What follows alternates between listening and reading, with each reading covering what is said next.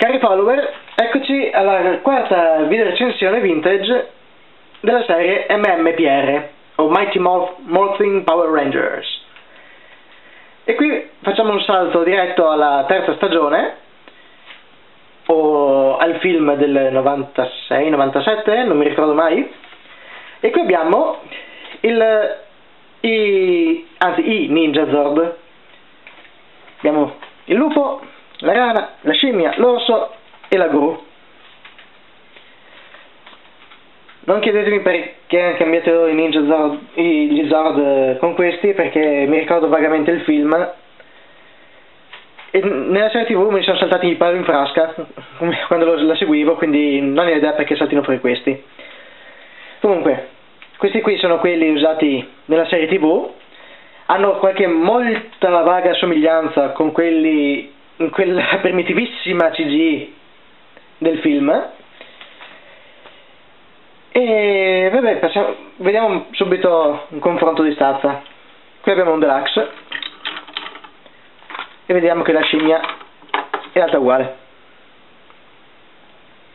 Anche qui abbiamo almeno una quindicina d'anni di, di, di differenza qui abbiamo un Voyager. E diamo un'occhiata alle varie bestie. Partiamo dalla rana che era lo Zord del Ranger nero casualmente. E credo che sia il modello migliore dei 5 eh, la scultura della rana mi piace un, un sacco. Molto ben dettagliata ed è molto posabile. Abbiamo perno qui sulla zampa un altro perno qui sulla spalla e qui abbiamo tutta la gamba. Abbiamo un ratchet qua che fa i 360 gradi. Abbiamo un ratchet al ginocchio. E anche il piede posabile quindi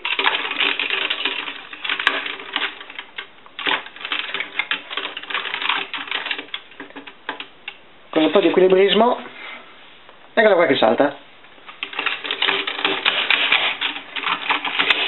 Ovviamente tutto questo deriva dal fatto che queste qui sono le gambe del Megazord. Abbiamo un altro perno qua che serve per eh, la trasformazione? Eh, quella rana da sola non si usa. Passiamo alla parte centrale. L'orso. Questo coso giallo che tiene fra le chiappe la mano sinistra del Megazord e nello stomaco dovrebbe tenere la mano destra ma piccolo problema di, del mio modello non c'è mai stata quando me l'hanno regalato ho tirato fuori questo coso di cartone e comunque si aggancia, si incastra in questa scanalatura qui in questo modo. Mentre la, la mano qui si aggancia su questa mezzaluna attraverso questa fessura qua. Articolazione le gambe le zampe posteriori vanno indietro per la trasformazione i pezzi saltano quello anteriore ha un minimo di movimento, ma più che altro il suo movimento è questo. Si chiudono su molla e si tirano indietro per formare il torace. Per il resto, sì, proprio il minimo sindacale. La bocca si apre e si chiude, ma c'è questo pezzo che deve stare qua sotto in modalità animale che gli impedisce il movimento, se no libero ha una buona apertura delle mascelle. E per la trasformazione in Megazord questa si rimette a mo' di museruola. Poi passiamo al braccio sinistro e abbiamo il lupo. È un blocco unico, con articolazione alla mascella, può essere aperta e anche molto. La coda e su un perno per la trasformazione, le gambe fanno avanti e indietro su un ratchet, ma anche questo per la trasformazione. Basta nient'altro, il resto è tutto un unico blocco. E qui abbiamo il perno, sì, l'aggancio per la modalità Zord. Poi abbiamo la scimmia, che con questa faccia che sembra quasi pseudo giapponese potrebbe essere la classica riproduzione di, del Son Goku della leggenda, non quello di Dragon Ball, quello originale. Ha due spade, me ne è rimasta una sola, sono uguali e si potevano combinare per formare una doppia lama. Possono essere impugnate, molto, molto lasche, e abbiamo qua due perni per eh, tenerle sulla schiena. Articolazione, la testa non ha niente, la spalla fa 360 gradi su un ratchet e il gomito va su e giù per trasformazione. Niente in vita e i dettagli qua dietro li ho dipinti io quella volta perché sennò questo bel argento e oro si ferma qua.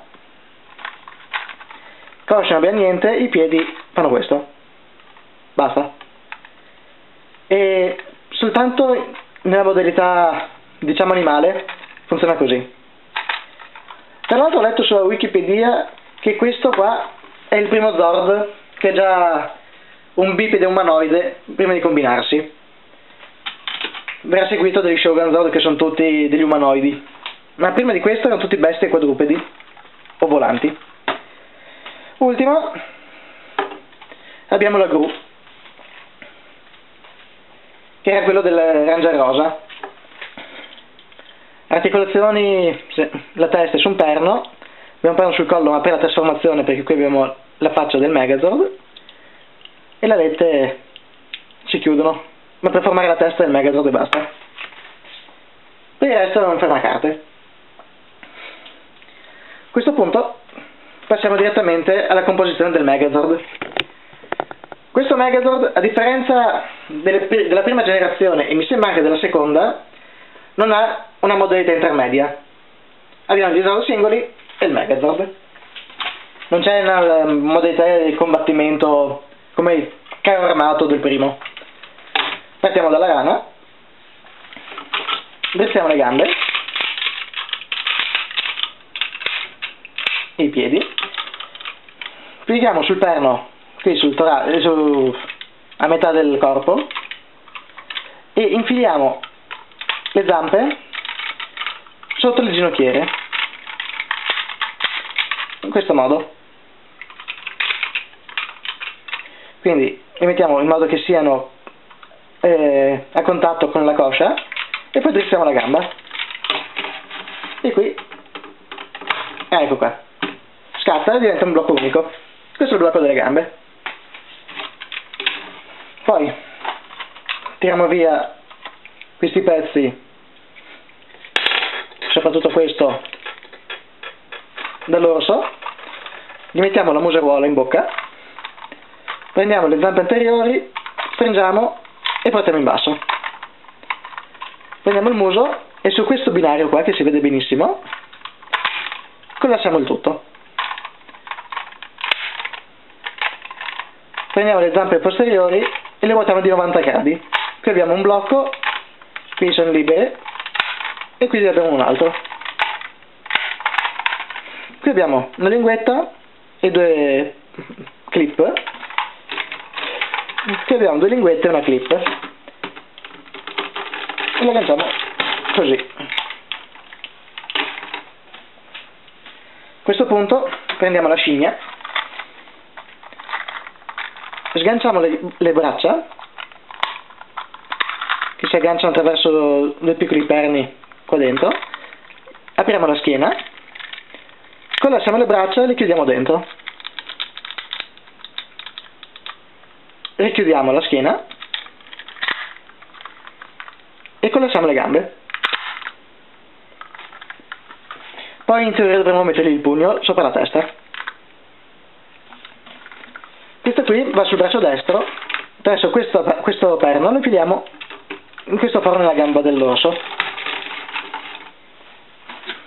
passiamo al lupo, prendiamo le due gambe, le portiamo indietro fino a fine corsa, zampe posteriori in avanti e chiudiamo la coda. Prendiamo la seconda mano che è in una posizione come se fosse di taglio, mentre questo doveva essere un pugno chiuso, gliela infiliamo in faccia e qui abbiamo piccoli clip che vanno ad agganciarsi attorno al muso.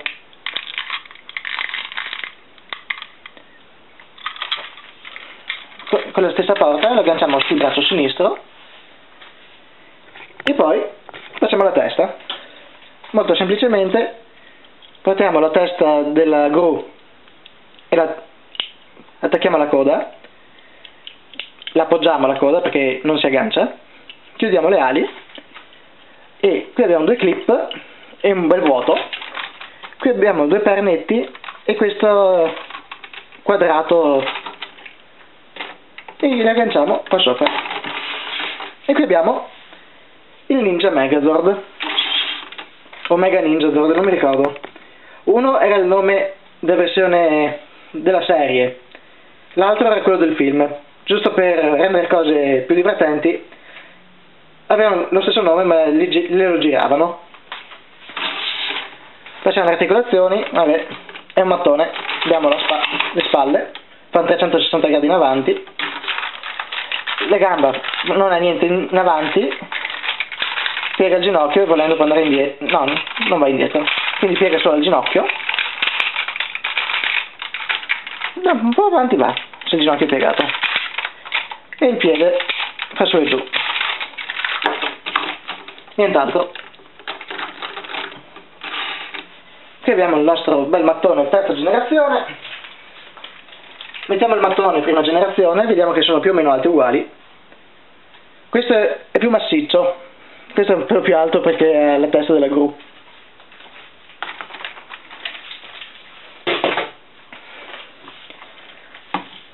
Qui abbiamo il Veicon di prima. Qui abbiamo di nuovo Springer. Sì. uh. Abbiamo di nuovo Optimus e si vedono i 20 anni di differenza. 20 anni più o meno. E bene. Che altro possiamo mettere? La mascotte. Mikasa. E come sempre per quelli che non hanno idea delle dimensioni di un Transformer qui abbiamo un DVD ora questo qua come il Megador precedente poteva combinarsi con lo Zord del sesto Ranger che in questo caso è il Falcon Zord che come il Dragon Zord era venduto separatamente come la tigre bianca per i Thunder Zord che mi mancano e lo vedremo nella prossima recensione quindi per ora è tutto Ah, ecco una cosa. Accessori. Eccoli qua. Quello che vedete è quello che c'è nella scatola. Se proprio vogliamo, come accessori abbiamo le spade, possiamo sempre agganciarle alla rovescia sulla schiena della scimmia e abbiamo lo zordo di Assassin's Creed. Faccio un piccolo appello a chiunque veda questo video se avete la spada e la, e la, testa della scimmia, il pugno della scimmia, mandatemi un messaggio o su Google, sul forum di autoturbo.it e sì, vorrei tanto sistemarlo questo. Giusto per la cronaca, la spada che ho io è quella con i buchi. ho perso la sua gemella che aveva i due perni per agganciarla e non ho idea di dove sia finita. Questa forse potrebbe anche essere giro per caso da qualche parte, ma il pugno non l'ho mai visto, mai avuto in vita mia. Vorrei tanto averlo. E dopo questa spudorata autopromozione, vabbè, chiamiamola autopromozione, vi saluto e ci vediamo alla prossima recensione. Ciao ciao!